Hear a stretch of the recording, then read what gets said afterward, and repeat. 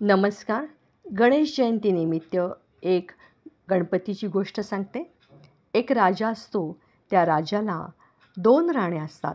एक मोठी राणी आणि छोटी राणी. मोठ्या राणीला दोन गोंडस खूप गोड अशी मुलं असतात पण धाकट्या राणीला मात्र अजून मुलबाळ झालेलं नसतं. धाकटी राणी मात्र खूप स्वभावानी छान असते ती सगळ्यांशी प्रेमाने वागत असते. धाकट्या राणीची गणपतीवर खूप श्रद्धा असते ती गणपतीची मनोभावे सेवा करायची. गणपतीची खूप मनोभावे सेवा करायची.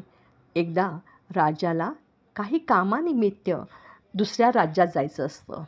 तो आपल्या मुलांना समजून सांगतो दोघी राणींना सांगतो की काही दिवसाकरता मला दुसऱ्या राज्यात जायचं आहे.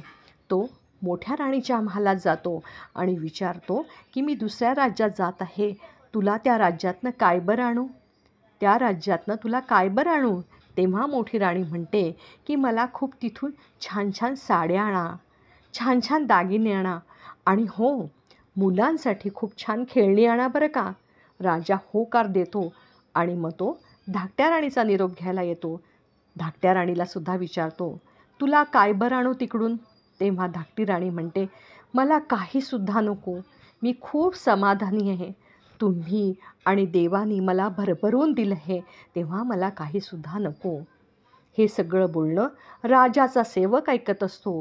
राजाचा सेवक म्हणतो महाराज आपल्या धाकट्या राणीसाहेब नेहमीच समाधानी असतात पण यावेळेस आपण त्यांच्यासाठी काहीतरी नक्की घेऊन येऊया. राजा आणि त्याचा सेवक रथातून दुसऱ्या राज्यात जात असतात. जाता जाता त्या ते दोघंजणं राज्यातील घटने घडामोडींचा विचारविनिमय करत असतात. तसेच दोघी राणींसाठी काहीतरी खरेदी करायची आहे याचाही विचार करत असतात. मोठ्या राणीसाठी राजा साडी दागिने तर घेतोच घेतो. धाकट्या राणीसाठी काय बरं घ्यावे असा विचार करत असतानाच सेवकाला एक दुकान दिसतं.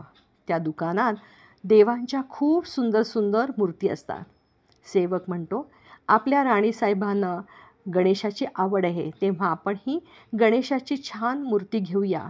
राजा काम आटपून परत येतो.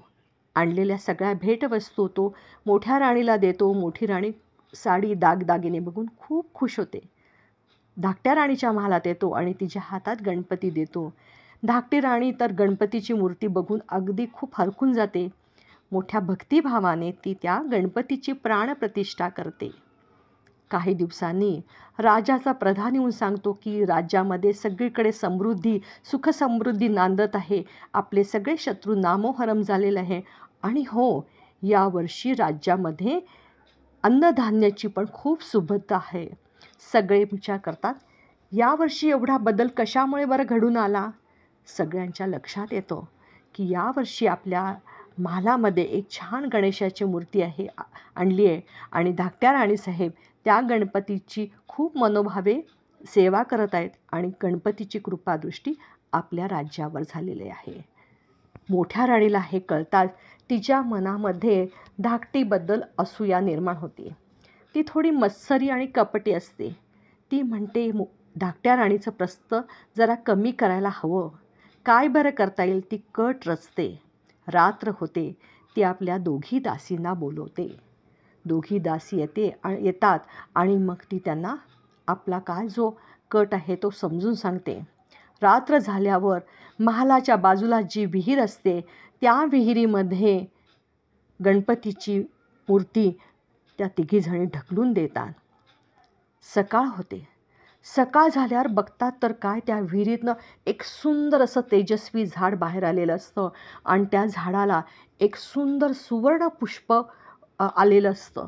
सगळे राज्यातील प्रजा ते झाड बघून बघून आश्चर्यचकित होतात. कसं बरं हे फूल आहे? सुवर्णपुष्प कसं आहे? जो तो त्या फुलाला हात लावायला जातो. राजा येतो. मोठी राणी येते.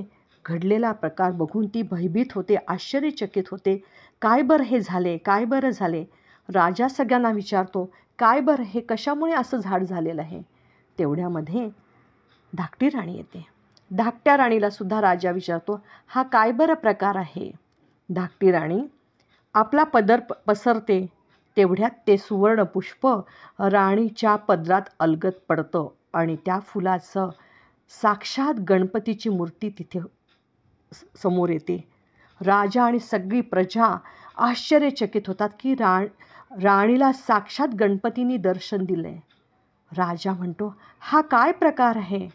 तेव्हा धाकटी राणी म्हणते मला काहीच माहीत नाही पण गणेशजी मात्र राणीवर खूप प्रसन्न असतात. आणि ते रा गणपती म्हणतात की घडलेला प्रकार मी सांगू का? घडलेला प्रकार मी सांगू का की ज्यांनी कोणी हा प्रकार केला आहे ते स्वतः पुढे येतील? मोठी राणी मनातून खूप घाबरते. पण समोर यायचं तिचं काही धाडस होत नाही की आपणच हा प्रकार केला आहे. जो तो विहिरीमध्ये वाकून बघतात. आणि वाकून बघतात तर काय? एखाद्या आरशात जसं प्रतिबिंब दिसतं तसं मोठी राणी आणि तिच्या दो दोन दासी कसं कट करतात ते सगळं त्यात प्रतिबिंब दिसतं. राजाला मोठ्या राणीचा खूप राग येतो. तो तिला खूप रागवतो. आणि तिला नगराबाहेर काढतो. धाकटी राणी गणपतीची मूर्ती घेऊन परत महालात येते. मोठ्या भक्तीने मोठ्या श्रद्धेने ती परत गणपतीची मूर्तीची प्राणप्रतिष्ठा करते आणि गणपती तिच्यावर प्रसन्न होतो. धाकट्या राणीला सुद्धा एक छान बाळ होतं. ते त्या बाळाचं नाव गणेश ठेवते. जसा गणपती धाकट्या राणीवर राजा राजावर प्रसन्न झाला तसंच तुम्हा आम्हावर हो. हीच गणेश जयंतीची मी तुम्हाला शुभेच्छा देते. मनापासून धन्यवाद.